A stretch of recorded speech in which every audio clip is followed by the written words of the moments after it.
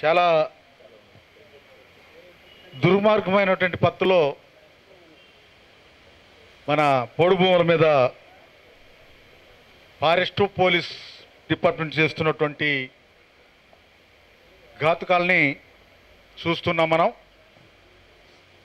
భద్రాచలం కొత్తగూడెం జిల్లాలో ఉన్నటువంటి గుండాల మండలం చెట్టువెల్లి గ్రామంలో ఒక ఘటన జరిగింది. దానికి సంబంధించినటువంటి విషయానికి వస్తే మొత్తం నలుగురు రైతుల ట్రాక్టర్ని ఫారెస్ట్ వాళ్ళు తీసిపోయారు ఇప్పటికీ నాలుగు నెలలు అవుతుంది ట్రాక్టర్లు ఇవ్వలేదు. మోటార్ సైకిళ్ళు మొత్తం తొమ్మిది మోటార్ సైకిళ్ళు తీసుకుపోయారు. వాటిని ఇప్పటి వరకు ఇవ్వలేదు. ఆ మోటార్ సైకిళ్ళ వాళ్ళు కానీ ఈ ట్రాక్టర్ల వాళ్ళు కానీ ఆ ఘటనకు సంబంధం ఉందా ఘటనలో ఉన్నారా అంటే అసలు వాళ్ళకి సంబంధమే లేనటువంటిది.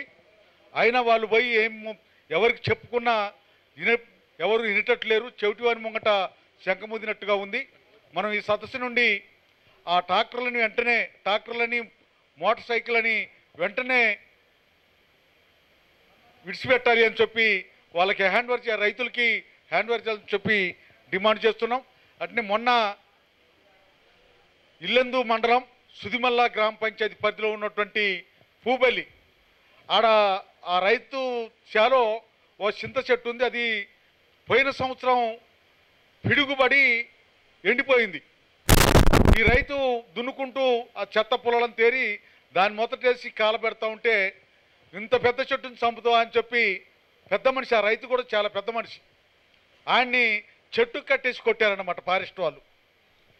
దీని మీద ఆ రైతుని పోలీస్ స్టేషన్కి పోదాం రాయంటే పోలీస్ స్టేషన్కి పోవటానికి పోలీసులు ఫారెస్ట్ వాళ్ళు కలిసే తండ్రి ఇంకా ఆడికి పోయి ఏం చేయాలని చెప్పి ఆయన యాడికి పోయిన పరిస్థితి ఇప్పుడు ఆ చేనుని దున్నకుండా వదిలేసినటువంటి పరిస్థితి. అట్లే మొన్న ఇరవై తారీఖు నాడు ధర్మాపురం గ్రామంలో నాగళ్ళని కా ఏడిగర్రల్ని కాన్లని మేడు అనేటువంటి దాన్ని మొత్తం ముక్కలు ముక్కలు నరికేసినటువంటిది. ఈ పద్ధతుల్లో జరుగుతున్నటువంటి దాని మీద ప్రభుత్వం ఇప్పటికైనా గిరిజనులు దున్నుకుంటున్నటువంటి వాళ్ళకి పట్టాలు ఇచ్చుడు ఈ ఇచ్చే దాంట్లో భాగంగా వాళ్ళ మీద వాళ్ళ మీద దౌర్జన్యం చేసిన వాళ్ళ మీద చర్యలు తీసుకోవాలని చెప్పి కూడా డిమాండ్ చేస్తుంది ఈ సదస్సు.